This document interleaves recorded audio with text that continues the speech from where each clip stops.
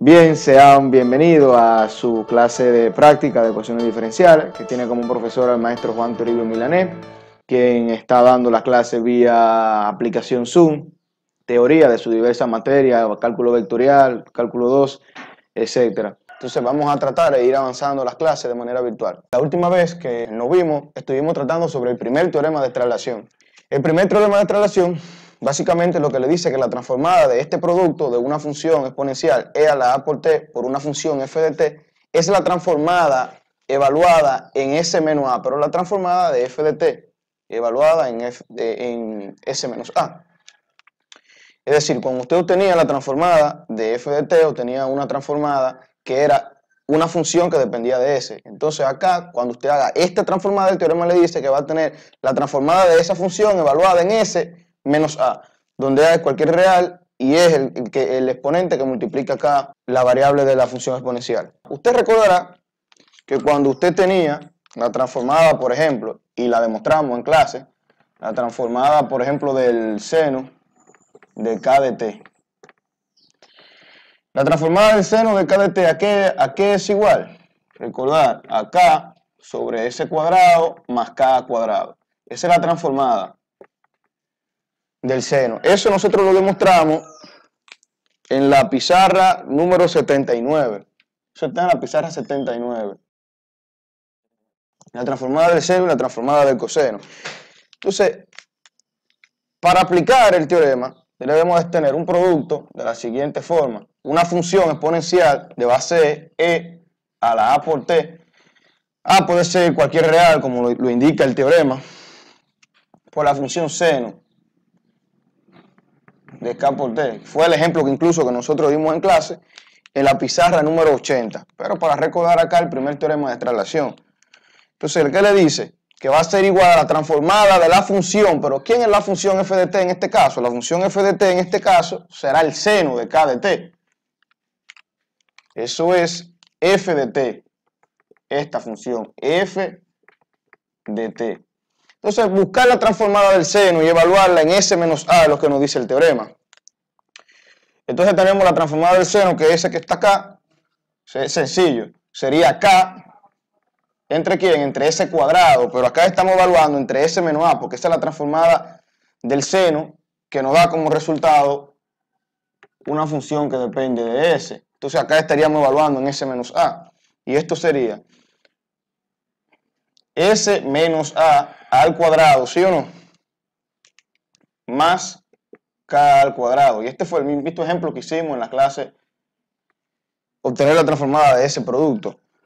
Les recuerdo que esta transformada se puede obtener también utilizando la definición de transformada de Laplace, que dijimos que era una integral impropia, y dijimos cuáles eran las condiciones que tenía que satisfacer esa integral impropia para que nos diera el resultado que se llama transformada de Laplace, que era que la función, que la integral converja. Siempre que la integral converja, entonces es una transformada de Laplace. Bien, entonces acá le traemos otro ejemplo de transformada de Laplace, que es la transformada de este producto, ¿no?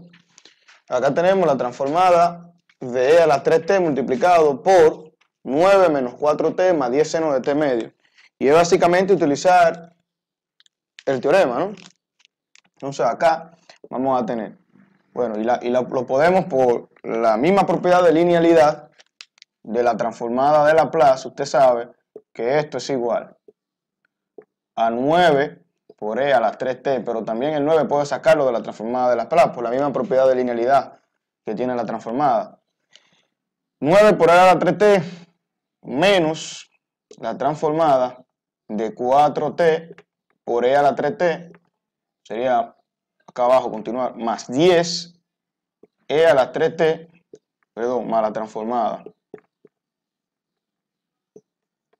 La transformada de 10 e a la 3t por el seno de t medios. Bien, entonces encontrando la transformada de la plaza acá, la transformada de e a la 3t ya la transformada usted la conoce, ¿no?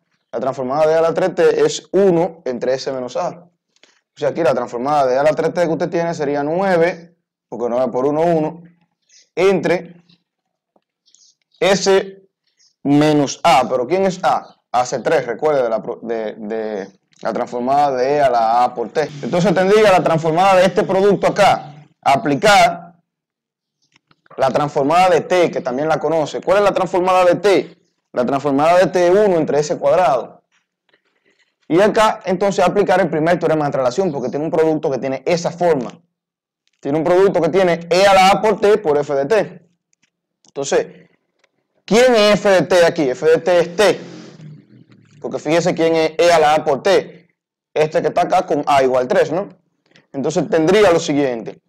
La transformada de T, decimos que 1 entre S cuadrado y sería 1 entre S menos 3 al cuadrado. Y, perdón, multiplicado por 4 porque está multiplicado por 4. Entonces acá multiplicamos por 4. 4. Entonces, esta transformada acá también la resuelve. Esto es de 10 por e a la 3t por el seno de este medio. Ya usted conoce la transformada del seno y utiliza el primer teorema de la traslación igual. Entonces, más 10, la transformada del seno. ¿A qué es igual la transformada del seno? Sería K. ¿Quién es K? K es un medio. Un medio entre ese cuadrado, evaluado en qué? En S menos 3. Entonces sería S menos 3 al cuadrado más K al cuadrado. ¿Y quién es K al cuadrado? K es un medio, entonces K al cuadrado sería un medio al cuadrado. Bien, entonces este fue el, resultado que nosotros tuvimos al aplicar el teorema de, los teoremas de transformada de la placa que nosotros conocemos ya, ¿no? Entonces, seguimos para simplificar un poco más la expresión. ¿Qué pasa? Usted puede sumar todas estas fracciones que tiene acá. Acá simplemente tiene que multiplicar por ese menos 3 en el numerador y en el denominador, y en el denominador y tiene igual denominadores y lo suma. Pero bien, por ahora vamos a verlo acá así s menos 3 menos 4 entre s menos 3 al cuadrado más 10 por un medio, eso es 5, ¿sí o no? 5 y le queda justamente esto aquí debajo en el denominador. Sería s menos 3 al cuadrado más un medio al cuadrado, eso sería más un cuarto, ¿no? Podría multiplicar por 4 en el numerador y en el denominador para simplificar esta expresión acá. Entonces vamos a hacerlo así. Y aquí vamos a obtener lo siguiente. Si usted quiere, usted lo simplifica más de ahí y, la, y resuelve y, y lo simplifica. Pero por el momento, y luego verá que cuando esté aplicando la transformada de la Laplace para resolver ecuaciones diferenciales, es probable que le convenga dejarlo así. Entonces sería 5 por 4, eso le da 20. Y aquí debajo, ¿qué tiene? 4 por s menos 3 al cuadrado más 1. Entonces, ese es el resultado de operar esta función con la transformada de Laplace.